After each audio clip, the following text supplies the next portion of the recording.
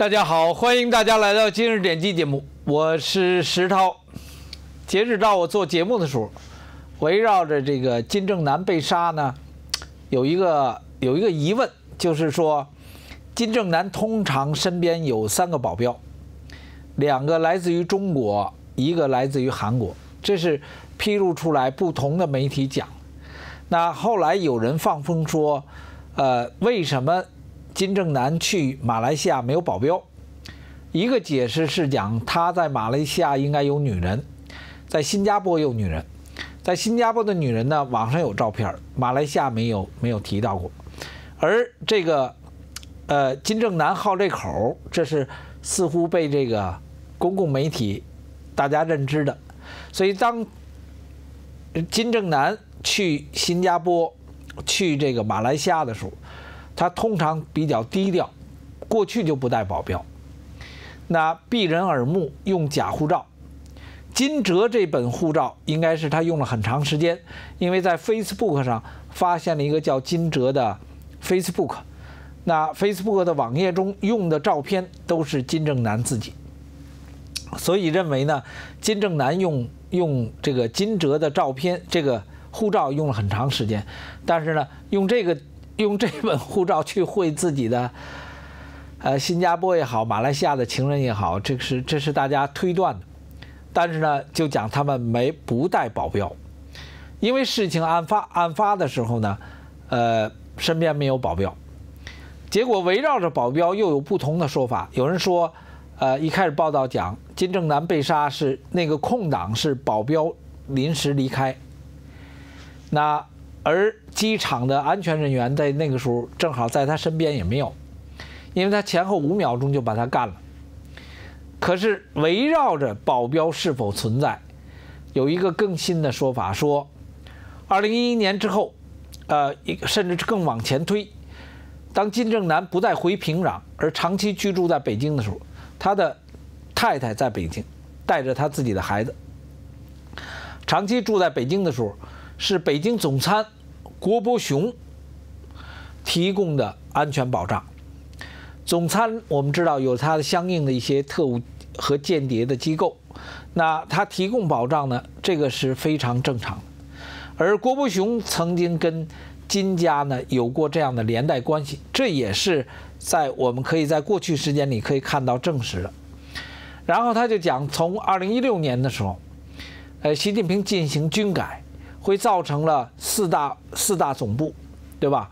总参、总政。总后勤部、总装备部没了，那七大军区没了，所以在四大总部没了之后，出现了一个状况，就是向金正男提供安全保障的总参的相应机构没了，呃，这就是出现一种混乱，但他却没解释，那什么时候金正男身边没有了这些保镖，这个没解释。可是这个矛头就转了，说，那金正男没保镖到了马来西亚，从而被袭击，是习近平造成的。你进行军改，造成了这种事情出现，这打击的方向就改了，对吧？而习近平呢，很在乎金正男，那也就变成了，习近平吃了哑巴吃黄连，有苦说不出了，呃，自己。制造的军改，然后没有照顾到金正男身上的安全，有些疏忽，从而被人家金正恩抓抓着空子就给咔嚓了。所以他就讲说，这里面却包含着中共上层的内部搏杀。那如果表面上是赖成了习近平，但是内部呢？再往下追呢，你就会发觉，在习近平军改的过程中，不可能直截了当的直接指示如何保证金正男，因为金正男在这个过程中很平静。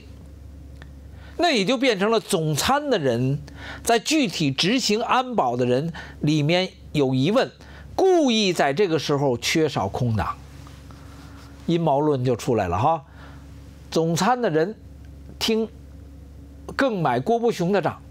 不买习近平的账，跟金正恩勾串串联在一起，掐在这个时间上，他没有保安，没有保镖，所以就给杀了。你可以说他是阴谋，你可以说他是阳谋，我自己跟大家解释的很清楚，所有发生的事情就是个过程，但二零一七年注定要发生的事情，是不是今天的人能够控制的？是时间的神走到这儿，时辰到了。那来自于香港的《动向》杂志最新的报道，王岐山泄密，李克强会留任，辟谣的意味明显。《动向》杂志二月号的报告讲，在过年的时候，王岐山到中央党校、中宣部、中组部、中央直属机关、中央国家机关和中央政法委去讲六中全会的精神，有意泄露中共高层的人事变动。有关李克强的去留。连任、调任等各种消息是党内不正常外传的。中共中央常委已经有了决定的意见，就是明春新一届国务院总理仍然是李克强。这里说的明春是指二零一八年的三月份的两会。党内不正常外传，谁？阳奉阴违者。团团伙伙者，跟今天习近平脚尖不看齐者，跟王岐山死磕的人，对吧？这是王岐山讲出来的话。那王岐山这么讲出来的话，代表着政治局常委去辟谣，要让他去辟谣，到哪儿辟呢？到中央直属机关、中组部、中宣部去批。那你说，二零一七年他不出事才怪呢。那如果？让他的身份去批批谣说李克强留不留的话，那不就是政令不出中南海，或者耗子专出中南海，不是一样吗？就说这意思了。有耗子出来了，水耗子，对不对？那那那保不齐的事儿嘞。所以他都表现出二零一七二零一七年王岐山、习近平要了断这样的事情。那海外的大的媒体呢，《纽约时报》呢？和这个路透社的消息来源，呃，就是那个我刚才说的水耗子，有点这意思。Five thousand years of Chinese music and dance in one night. Incredible, groundbreaking, a cultural phenomenon. A must-see. Experience Shenyun. For showtimes and tickets, visit shenyun.com. 另外一个消息是来自于 这个法广的，原来最高法院的副院长奚晓明，事后知情被定罪判无期。这是十六号的消息哈，天津第二中级法院公开宣判最高人民法院原副院长奚晓明受贿案。呃，对被告人奚晓明以受贿罪被判无期徒刑，剥夺政治权利终身，并且没收个人全部财产。官方对奚晓明受贿所得财物及其呃所呃给予追缴，啊上交国库。奚晓明当庭表示服判不上诉，这一结果是近三年来贪腐案的标准模式。这是说的非常。就是这个这个后头这话就是有意思了，全都是标准模式。然后奚晓明说呢，呃，跟这个周周本顺有点类似，说很多事是他儿子干的，他不知道，他当时不知道，所以事后知道。但这话没管用，所以还给他判了无期。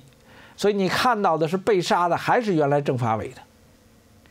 我想跟大家说的意思就是，这个时间段和这个环境。它是一个变更走动的过程。原来积下来的案子都给清了，清完的案子原因是给肖建华所代表的抓肖建华所会引出来的其他的案子，马建也被整了，对不对？送交司法了，所以它是一条线上走的，走的这一条线上，你看到的就是非抓曾庆红、刘云山他们不可。与此同时，在周末的时候，美国出来的消息，几乎所有无证移民都可能是成为被驱逐的对象。呃，那这就是这很厉害了。美国国会议员讲，一名政府移民官员讲，几乎所有无证移民都可能成为被逮捕或者驱呃驱除出境的对象。他说，唯一可能例外的就是叫童年入境暂缓遣返计划的人。他讲，这就是年轻的时候来到美国。那并受到奥巴马当时建立的这一计划的保护移民。除此之外，凡是越期拘留或违反签证规定的外国人，对国家安全或公共安全都会造成重大威胁。那这个说法就很厉害了。给你举个例子，你是澳大利亚公民，你到美国有落地签证，啊，三个月。那三个月他很严格的，我印象中是九十天。如果严格说，九十天。当你在第九十一天还在美国境内的，你就可能成为被抓捕对象。所以这个政策执行下来，它确实是会造成大批的这种越期居居留在美国人的被驱逐出境。它的目的是留给。把这样的工作岗位留给美国人，那它的影响度有多大呢？加拿大有报道说，有人从美国境内徒步走过加拿大边界，来到加拿大边界，自己是难民喽，因为他没有合法在美国的居留权利。那加拿大呢，现在是采取宽容的态度在收留。我看过、听过一耳朵 radio 的报道，说有人把手脚都给冻掉了。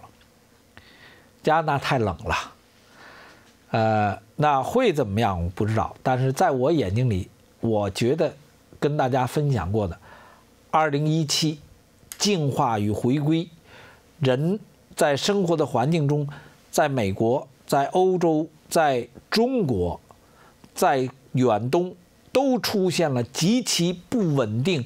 和动荡的这样的氛围与环境，而这一份东西不是任何人能够控制住的。那好，这期节目就到这里，谢谢大家，再见。